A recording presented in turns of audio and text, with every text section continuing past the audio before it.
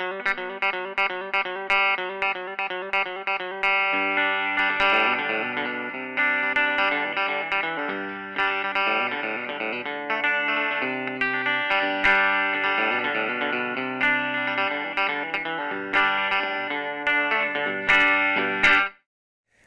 til Odense Min By til en udgave, hvor vi både skal til premiere på Åens Dag, og vi har en reportage om en overset minoritet, de såkaldte intersex-mennesker.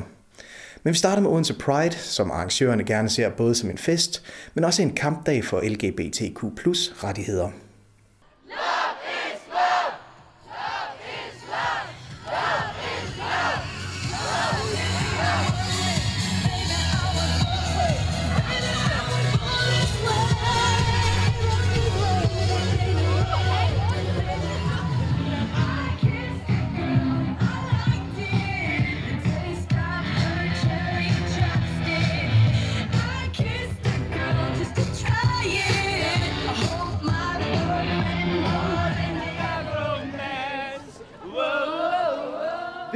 Velkommen til Odense Pride 2023. I'm here. I am here. Vi er med til Odense Pride, den tredje af slagsen, hvor omkring 1500 odenseanere brugte en lørdag eftermiddag til at markere en fest og kampdag for LGBTQ plus rettigheder og respekt for mangfoldighed. Så er det vildt at se tilbage på vores barnejeg, fordi jeg havde aldrig nogensinde, jeg ved heller ikke med dig nu, men jeg havde aldrig forestillet mig, at vi skulle stå her alle sammen i Odense. Jeg havde aldrig troet, det var muligt. Og i dag kan vi faktisk stå her og være 100% os selv i et fællesskab, hvor vi føler os komfortable og kan udtrykke os selv, som vi finder os passende. Der er rigtig mange børn og unge, som er glade for og taknemmelige for, at I, måske ved de det ikke helt endnu, men at I gik forrest og gav dem nogle rettigheder, som I måske ikke havde, da I var børn.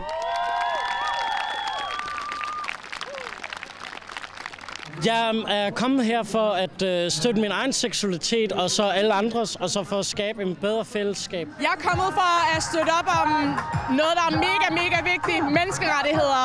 Og så er jeg også kommet, fordi at jeg er på date med en mega skøn dame. Det er, fordi jeg har en uh, transkønnet søn, som er herinde med nogle af de venner, vi er kommet fra Foreningen for Støtte til Transkønnede Børn, for at støtte op om vores børn. Og så også fordi min datter, hun selv er en del af det. Så ja, du vil gerne støtte op om. Er det okay at være homoseksuel? Det er okay at være lesbisk? Det er okay at være, altså stå inden for det, man er, og, og lade være med ligesom at, og, og, og være flov over det, fordi der er ikke noget at være flov over. Jeg er kommet faktisk sammen med Sabah. Øh, det er en organisation for minoritets etniske LGBT plus personer, og jeg tænker, at i hele taget i forhold til Pride, så er det en rigtig vigtig ting. Øh, blandt andet i forhold til queers øh, rettigheder. Det har vi virkelig brug for, at man sætter løs på det. Så ja, det er derfor, jeg er her for at støtte om om det og se, alle mennesker er glade, og der er bare kærlighed over det hele.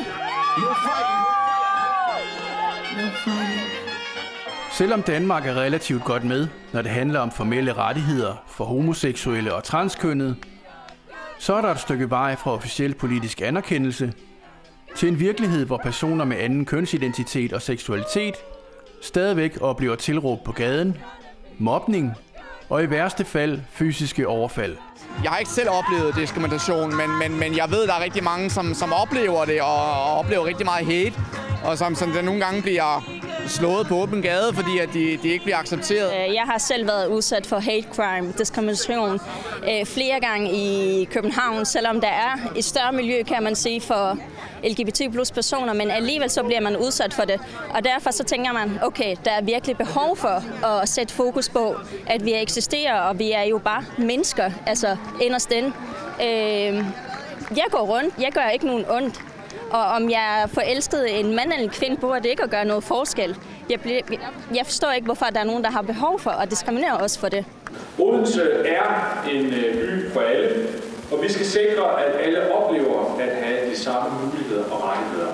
Og så er det ikke kun i det offentlige rum, at det kan være udfordrende at være en LGBTQ plus medborger, der gerne vil have et helt almindeligt liv, uden at være begrænset af seksualitet eller kønsidentitet. Altså, jeg har været privilegeret. Jeg har i virkeligheden ikke selv mødt særlig mange udfordringer, men, men på trods af, at jeg har været ude i over 20 år, mange år efterhånden, 30 måske, så, så kan jeg godt stadigvæk have følelsen af, når jeg skal noget nyt, øh, når jeg med mit barn skal introducere til en pasningsorden, jamen, hvordan bliver vi mødt som familie? Accepterer de fint, at vi er en regnbuefamilie, eller oplever vi måske, at de synes, det er lidt mærkeligt, og hvad med de andre forældre? Man får sådan nogle tanker sådan helt automatisk, og, og det gør man jo ikke, hvis man lever i en helt almindelig familie, i gåsøjne, almindelig familie. Øh, så, så der er jo hele tiden nogle spekulationer, man har. Øh, mine, mine spekulationer ændrer sig over årene. Nu handler det mere om mit barn, end det handler om mig. Men, øh, men, men det er sådan nogle tanker, som alle måske ikke lige tænker over, at man kan have, fordi man er lidt en minoritet. Så tror jeg også, det er vigtigt at huske på, at langt de fleste LGBT plus personer, de ønsker faktisk ikke at være specielle. Fortæller Sara Bogø Petersen, der som talsperson for foreningen Lambda har været med til at presse på for Odense Byråd nu formulerer en LGBTQ plus politik og handleplan, der kan skabe bedre forudsætninger for en reel udfoldelse af ligeværdig mangfoldighed. Jeg har faktisk store forventninger. Det har jeg øh, både fordi vi som kommune og byråd er dedikeret til, at øh, i Odense skal man være den, man er, øh, uanset øh, hvordan man, øh, man føler sig, øh, hvad køn øh, man har, eller hvad, seksuel, seksualitet man, øh, man har.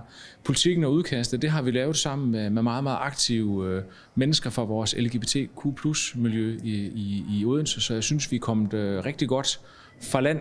Øh, nu skal vi have den øh, endelig vedtaget. Øh, vi skal lige have høringsfasen overstået. Det kan være, at vi får nogle input, der gør, at vi skal, vi skal styrke nogle, øh, nogle ting. Men så er det jo et vigtigt skridt for at kunne holde os selv og holde hinanden op på som by, at i Odense, der kan man være lige præcis den, man er. Hvis vi gør det sammen i fællesskab, så er jeg sikker på, at vi vil komme rigtig langt. Sagde borgmester Peter Rabeck Juhl, da der var såkaldt LGBTQ plus topmøde på Rådhuset onsdag, hvor der blandt andet blev fremhævet, at man som kommune for eksempel kan gøre mere for at klæde sine ansatte fagpersoner, undervisere, sagsbehandlere og sundhedspersonale bedre på til at forstå de udfordringer, man lever med som LGBTQ plus medborger. Jamen, der, der er mange ting. Jeg tror, det er vigtigt. Det, det, altså, et, et er, hvad vi gør som kommune, men der er også brug for en, en altså, skub på for en, en kulturforandring i samfundet, fordi det er jo nogle strukturer, der gør, at dem, der er en seksuel minoritet, at de, øh, de i mange situationer øh, på ingen måde føler sig imødekommet. Det er den milde grad, og, og andre steder jo simpelthen bliver udsat for, for psykisk vold og for fysisk vold, hvilket forekommer, og hvilken der er overrepræsenteret i, øh, i, i statistikkerne. Så det er mange ting, vi skal, vi, skal, vi skal arbejde med, så jeg vil ikke hive noget ud af handleplanen frem for, for andet.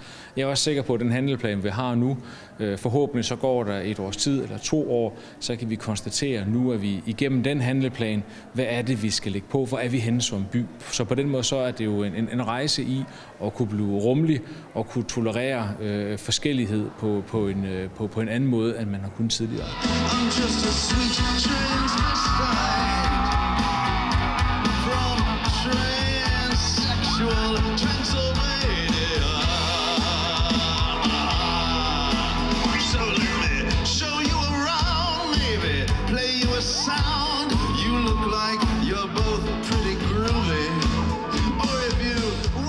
I Odense Kommune, og det er jeg stolt af at sige, så har vi gang i arbejdet med en LGBT-politik, som skal stadfæste de rettigheder, man har som LGBTQ plus personer i vores by.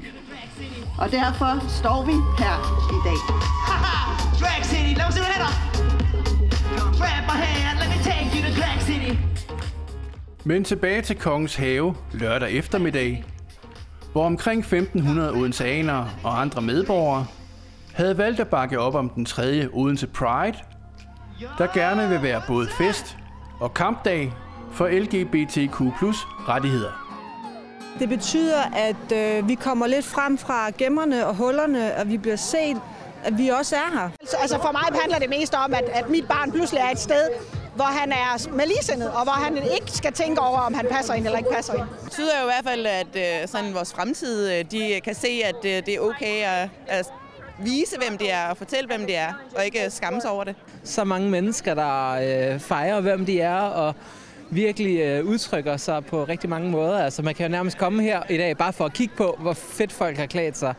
Øhm, og der er virkelig god stemning og stor opbakning, og det synes jeg bare er mega fedt. Så jo flere, jo bedre. Jeg vil sige, det betyder, at man ligesom laver den der, man viser, at man er der, og man, man viser en, man er endelig en critical mass i en, i en hver situation, hvor vi lige pludselig, når vi er så mange sammen, har en, en større stemme i fællesskabet. Og når vi går igennem byen, så kan man se, det er ikke bare den ene fætter, det er faktisk en halv by.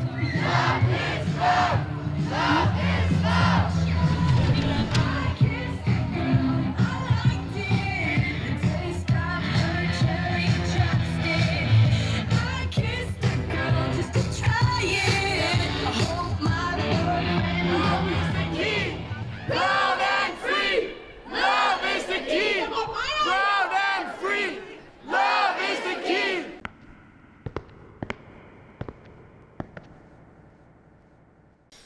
så skal det handle om den oversete minoritet, de såkaldte intersex-mennesker.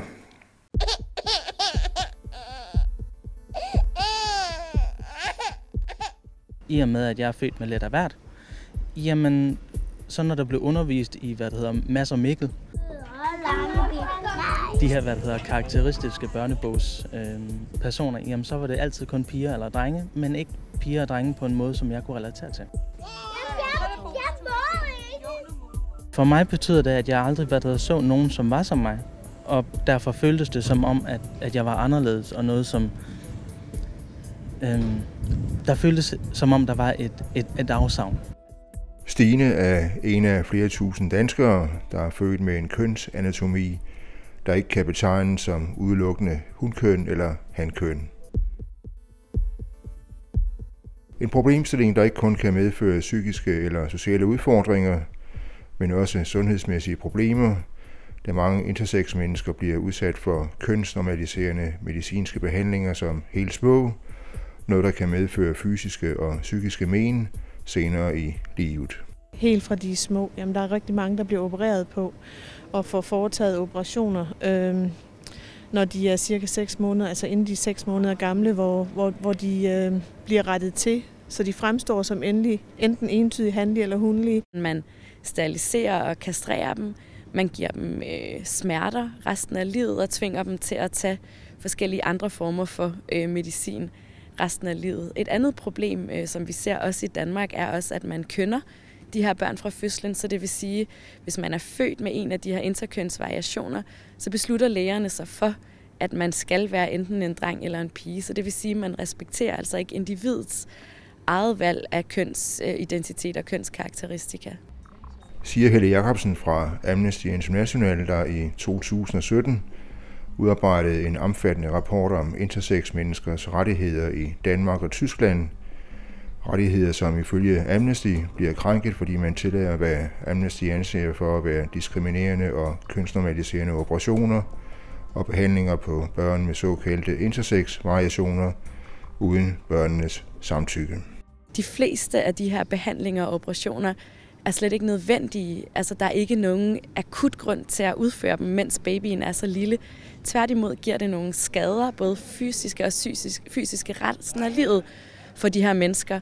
Øhm, så derfor anbefaler Amnesty og FN og Europarådet, at man venter med de her øh, operationer og behandlinger, indtil barnet selv kan være med til at give sit samtykke til dem. Den kønstildeling, de børn får, er jo en gissning fra lægernes side om, at det barn vil udvikle sig i handlig eller hundelig retning. Og nogle af de her børn, når de så vokser til, så viser det sig, at den det gæt, man har foretaget fra lægernes side, det ikke holder stik, og barnet udvikler sig i en anden kønslig retning. Men der er man ikke i stand til at, at, at omgøre den beslutning, man har gjort, og man har så på den måde bragt et, et, et barn i en situation, hvor de faktisk er transkønnet, medicinsk transkønnet.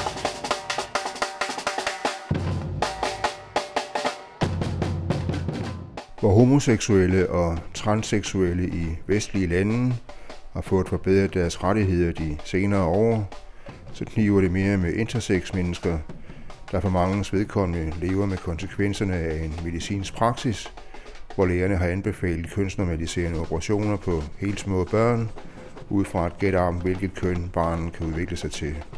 En praksis, som Danmark i flere omgange er blevet kritiseret for i påtaler fra FN, der mener det er imod konventionen om barnets rettigheder.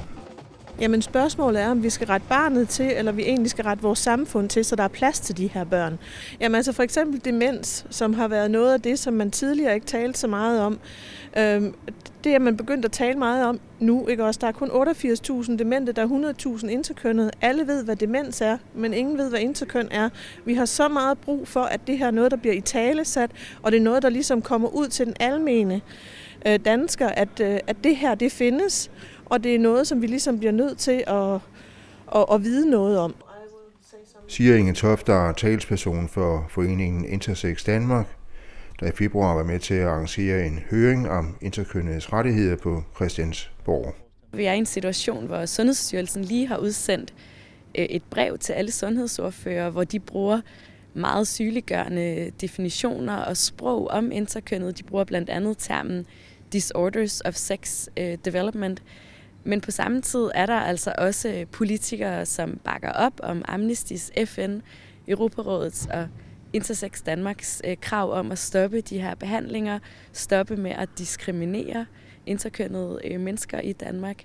Øhm, øh, så jeg er da håbefuld øh, og er sikker på, at vi på et tidspunkt i fremtiden når et sted hen, hvor de her behandlinger bliver stoppet. Øh, det er jo et område, som er meget højt på den internationale menneskerettighedsagenda. Både FN's torturkomité og FN's børnekomité har anbefalet Danmark at stoppe med de her operationer og behandlinger. So in terms of uh, Siger Helle Jacobsen fra Amnesty International, der anbefaler, at der ikke bliver udført kønsnormaliserende operationer uden barnens samtykke, og at det skal være muligt at få et juridisk kønsskifte, også inden man fylder 18.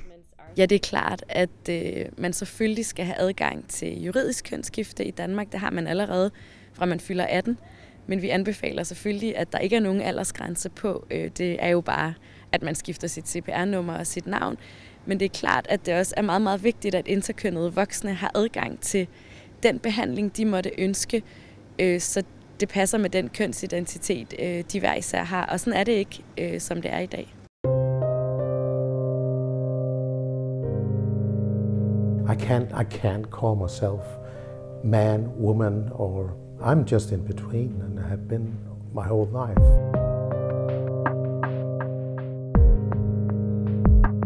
I found out at the age of 11 when my body started to develop in both female and male typical direction.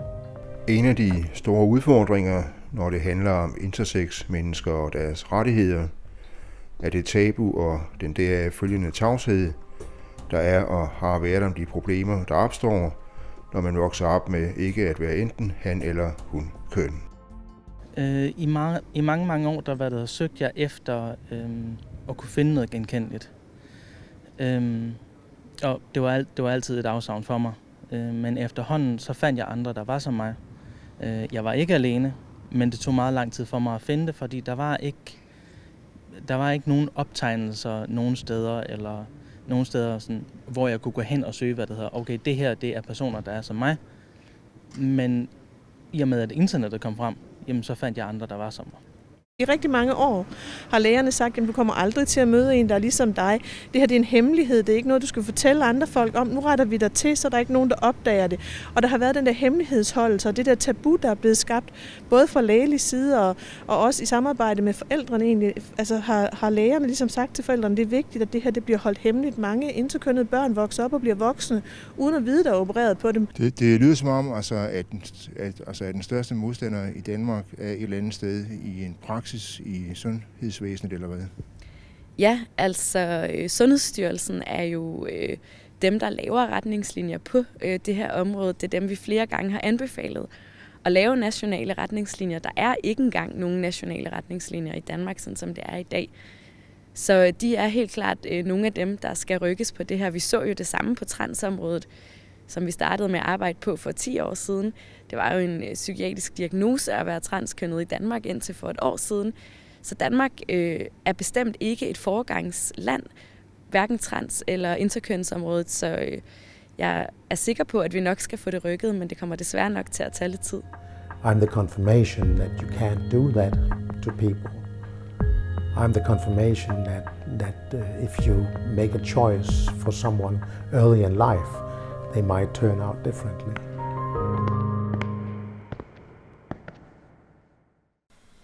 Og så skal det handle om noget andet. Vi var med til urpremiere på en ny kulturel event i Odense, Åens Dag.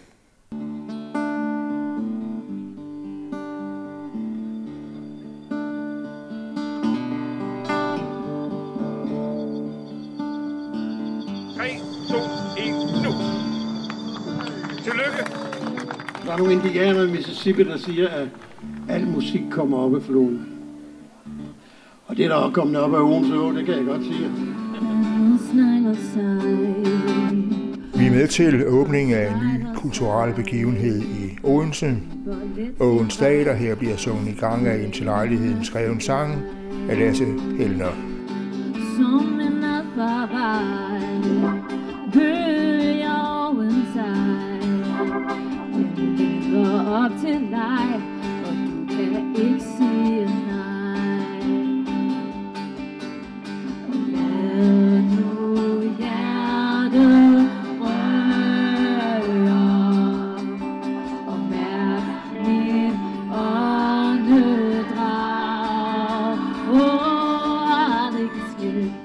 Selvfølgelig masser af musik, Kold dag, kold nætter Spiser men den ved med dig Mor sagde, tag det roligt. Sandheden er fortrolig. Kan ikke klage? Jeg fortæller om de dage, hvor Gud med mig. Som om vi var et barn. Var som på arm men også dans,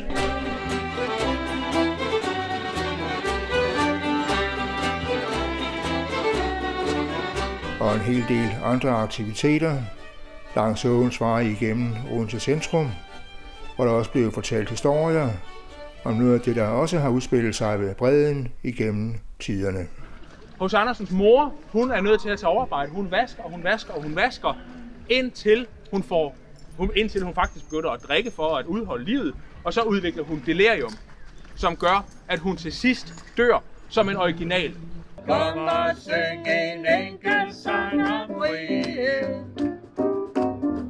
Syng den højt, så alle kan forstå.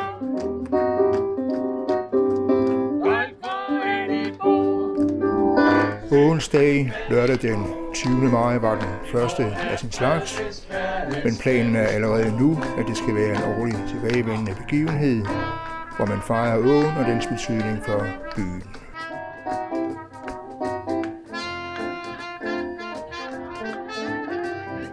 Og er det fantastisk at se så stort et fremmøde i dag. Jeg var lidt spændt, da jeg gik hjemmefra. Tænkte, kan vide, hvor mange der kommer sådan til den første onsdag. Det ved jeg, arrangørerne også var og er. Og jeg synes, det er helt fantastisk at se oppakningen. Skal vi ikke lige sige tak til arrangørerne for at lave det her fantastiske... Ej, giv dem en stor hånd. Tak, Lasse, og tak til John og hele jeres fantastiske bestyrelse.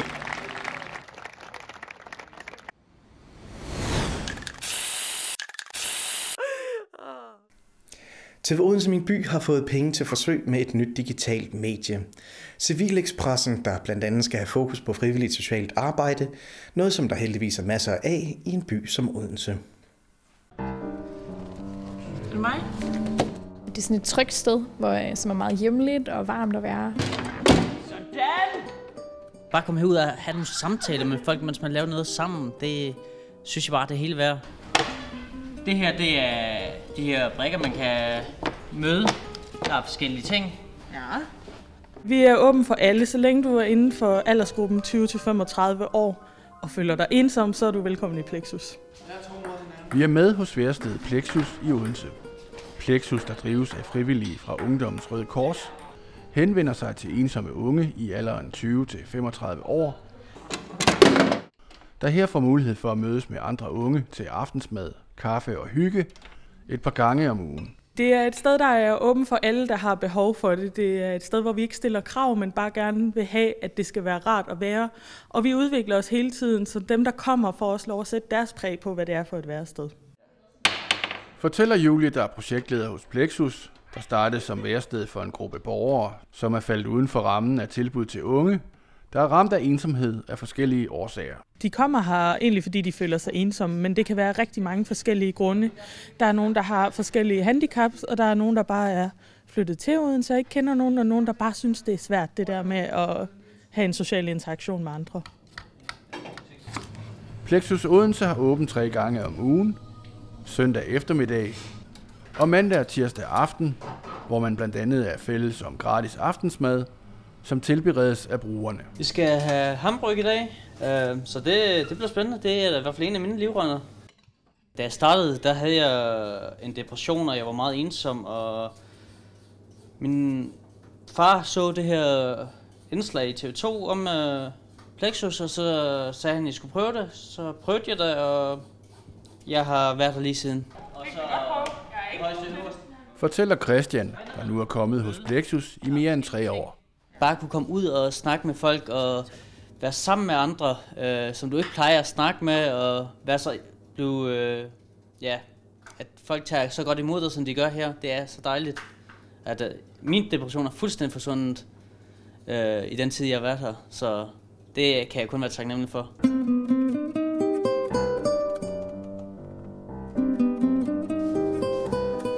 Som nævnt så har Plexus åben tre gange om ugen. Man anslår at mellem 60 og 70 unge jævnligt bruger tilbuddet, hvor der altid er en 3-4 frivillige med til at sørge for aktiviteter og en god stemning. Vi har jo en væg over med tonsvis af spil, så, øh, så det der med spil er noget, vi går meget i. Men ellers så sidder man og snakker for en kop te eller en kop kaffe, eller vi har også lige startet noget, der hedder Team Up, som er sådan noget, vi har om søndagen, hvor det er sådan nogle lidt mere sådan fysiske aktiviteter, for man ligesom kommer i gang med kroppen og har noget andet at snakke om. Så, øh, så lidt af hvert, men spil er helt klart øh, en af de ting, som vi gør allermest i. Men hvis, nu, hvis, man nu, hvis jeg vil rykke dem her, så kan jeg ikke rykke dem derned? Jo. Det kan jeg godt, det kan du han står der. Okay. Ja. Fortæller Marlene, der som frivillige også er med til aktiviteter ude i byen. Det kan være en tur i biografen, klatrehallen eller bowling. Men ellers prioriterer man hos Plexus at være hjemme og skabe en stemning af hjemlig hygge. Altså, det er jo sådan noget ung til ung kontakt, så man, man får jo sådan et venskabeligt forhold til brugerne. Og ja, tryghed igen er noget, vi virkelig prøver på at, at skabe som frivillige, men også bare det der med, at man, altså at, at man bare er her øh, og kan snakke med folk. Altså. Så det er jo også vigtigt, at, øh, at vi virker meget nede på jorden. Øh, så vi ikke er sådan, at vi ikke er sådan nogle autoriteter eller sådan noget, hvis man kan sige det sådan. Så, øh, så man bidrager jo til at, at skabe den gode relation og, øh, og sådan finde ud af, hvordan man begår sig blandt andre mennesker, hvis man kan sige det sådan. Ikke, at de ikke kan finde ud af det, men altså, at man, at man ligesom bare får den der interaktion med, med et andet menneske. Vi laver meget forskelligt. Vi prøver at tilrettelægge det efter, hvad vores brugere godt kunne tænke sig, når vi holder brugermøder. En gang i kvartalet, så kommer de med forslag. Vi har været i zoologisk have og svømmehallen, vi har været ude at klatre.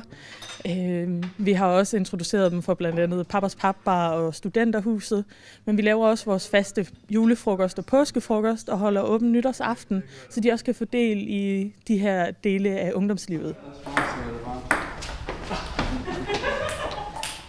Plexus drives som nævnt af frivillige fra Ungdommens Røde Kors, der har lignende tilbud i andre større byer. I Odense får værstedet økonomisk støtte fra kommunens pulje til frivillig socialt arbejde, og så blev Plexus i 2018 indstillet til årets ildsjælepris.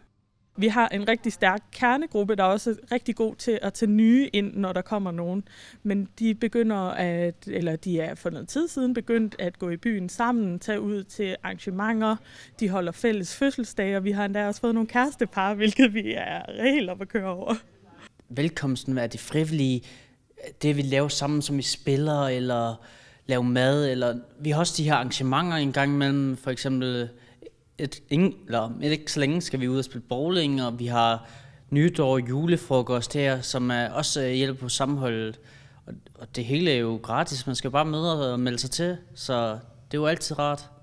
Man kan ha- lave noget sammen, jo. Sådan! Uh! Hvad var det?